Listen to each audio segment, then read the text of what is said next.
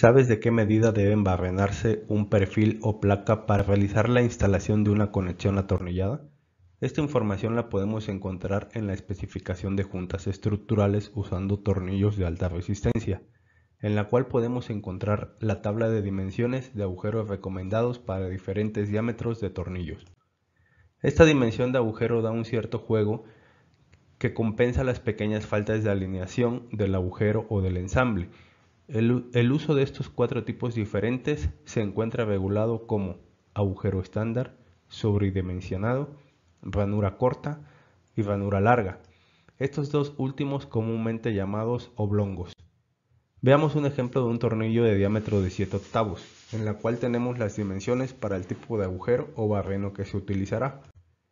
En el caso de un agujero estándar, la medida debe ser de 15-16 y para un tornillo sobredimensionado esta es de una pulgada, un 16 Podemos ver un corte de una sección transversal, un tornillo, placa y agujero. Pero se debe ser cuidadoso en no realizar un dimensionamiento excesivo del barreno contra el tornillo, más allá del diámetro indicado como sobredimensionado. Al instalarlo se puede presentar problemas de esfuerzo excesivos que ocasionarán un aplastamiento en la unión causando deformaciones en el conjunto placa arandela tornillo y tuerca. Adicionalmente información como el espaciamiento mínimo entre tornillos de agujeros estándares, sobredimensionados y ranurados no será menor a 2.7 veces el diámetro del tornillo.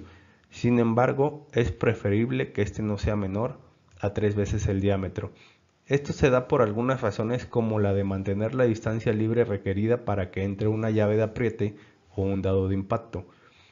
En ocasiones es posible que los tornillos se punzonen o barrenen tan cerca unos de otros que el metal entre ellos se dañe de tal manera que su resistencia se vea reducida a niveles inaceptables. En el caso contrario, cuando los tornillos se colocan demasiado separados, los elementos unidos podrían no estar en contacto estrecho entre tornillos, dejando un espacio para la acumulación de humedad y polvo. El resultado es que podrían oxidarse. Es por ello que para la distancia máxima se recomienda que este no sea mayor a 12 pulgadas. También tenemos recomendaciones mínimas y máximas al borde de una placa de conexión y esta es que para la distancia mínima del centro al borde la tabla J3.4 del AISC nos da los valores sugeridos para cada diámetro de tornillo. Para la distancia máxima la recomendación es de 12 veces el espesor de la parte unida siempre que ésta no sea mayor a 6 pulgadas.